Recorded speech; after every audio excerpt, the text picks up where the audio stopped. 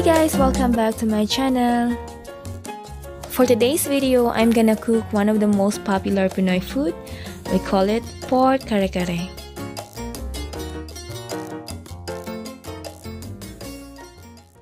For this recipe are crushed garlic, cornstarch, chopped onion, another powder, peanut butter, We also need bok choy or pechay, sliced eggplant, and pork hock or pata. We'll also be using pork cube, black pepper, and bagoong or alamang. And here's the exact measurement and complete ingredients of this recipe.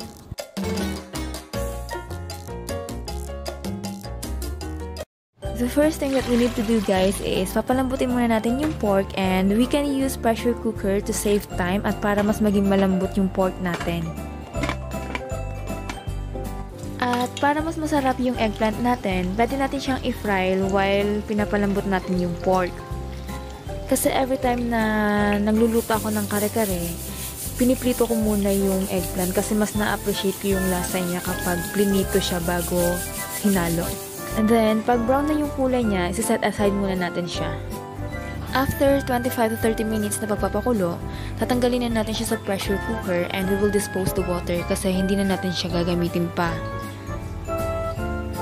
Our next step is, mag-iinit tayo ng cooking oil bago natin ilalagay yung onion and garlic. We will cook it for 2 to 3 minutes, then i-add na natin yung pinakulo ang baboy.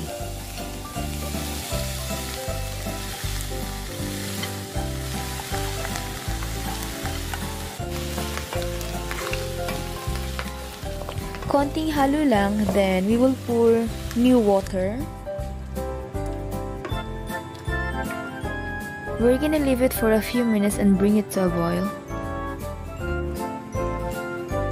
Kapag kumukulo na, pwede na natin ditong ilagay yung pork cube. Tutunawin lang natin siya at maglalagay na tayo ng black pepper.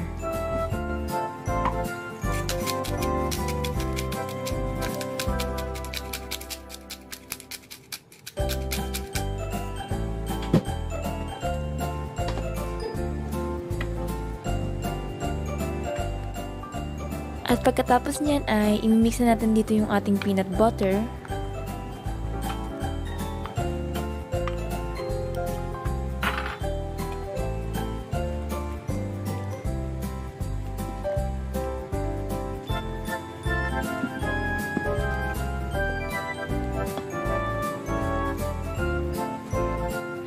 After we mix it well, maglalagay na tayo dito ng pampakulay, yung ating anato powder. And we have to dissolve it into water before natin siyang ihalo kasi mamumuo siya kapag hindi natin tinunaw.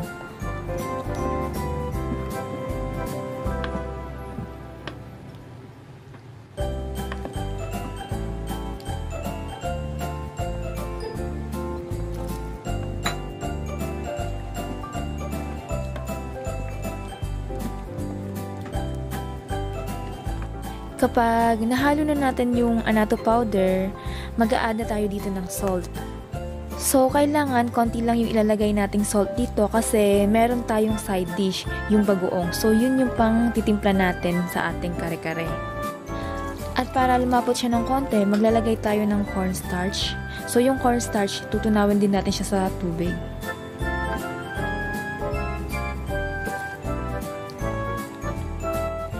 Kapag medyo malapot na siya, i-add na natin yung ating eggplant at yung ating pechay. Di po pala ako dito guys mag-a-add ng sitaw kasi hindi ako masyadong mahilig sa sitaw. So kayo kung gusto niyo mas madaming gulay, pwede kayong maglagay ng sitaw pa dito.